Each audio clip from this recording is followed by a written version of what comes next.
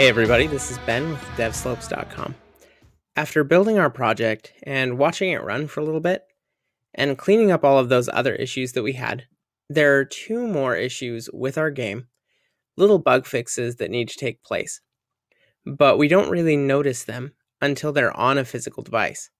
The first one, and the most prominent one, is the color of the buildings after they've been struck. Now, in our actual gameplay, when we were in the editor, the colors were all right.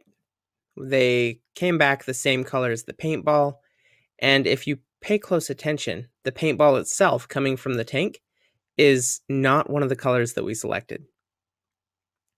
Well, that's because we forgot to do something really important.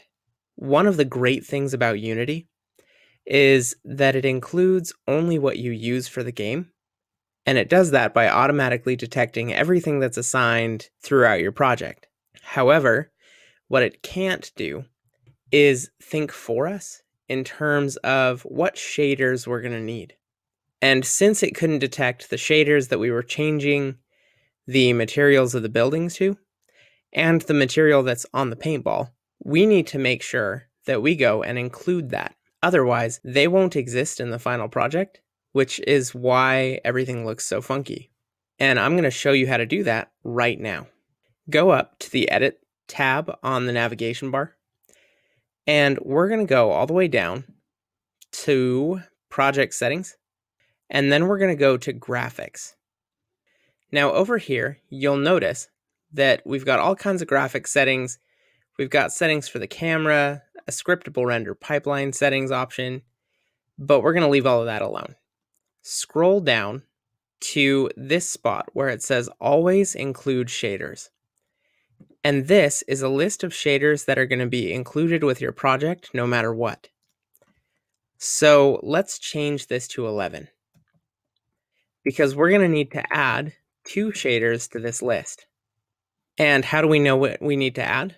Well, if I head back over to the script for the collision handling for the buildings, the Mapbox Collision Manager, and we go down, we've got two shaders that we go looking for. The first one is color, and the second is specular. So we're going to need a shader of each of these types for Unity to have any idea what we're looking for. So back here in the Unity editor, for element 9, we are going to go and select one of the shaders. We're going to look for specular. And it's going to give us a bunch of options that we can look through and figure out which one we want. But I'm just going to be looking for the legacy shaders slash specular. It's all by itself right there. And it should look like that, legacy shaders slash specular. The second one that we're going to look for, so the element in slot 10, is going to be color, unlit. Done. Cool. Now when you build your project, the buildings should all be the right color, the paintballs should be the correct color as well, and everything should be working on that front. The other thing we need to fix is the sound.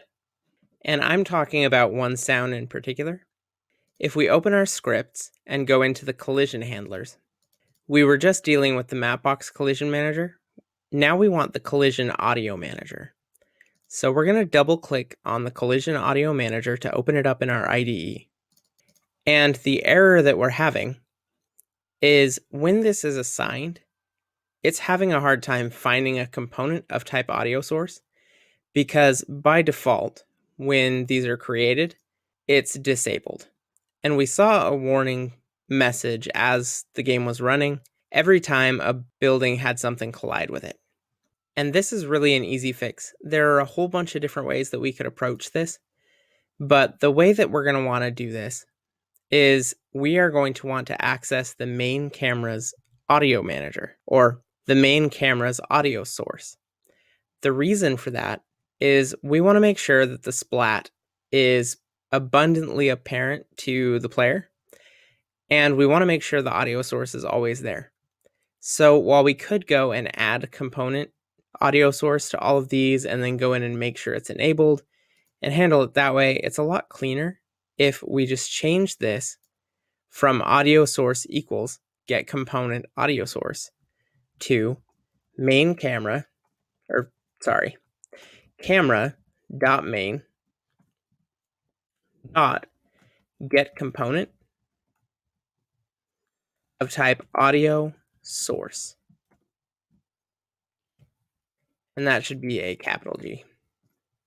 And there we go. Now we're not going to have a problem. So back in Unity, and with that, we're just going to save our project. And that should be it. Other than the student challenges that we left for you, that should be all the bugs, everything there, and we shouldn't have any more problems running our project. So again, great job following along. And I hope you enjoy your game and take it and really work on it and make it your own and expand this into something even more amazing. This is Ben with devslopes.com, and we'll see you next time.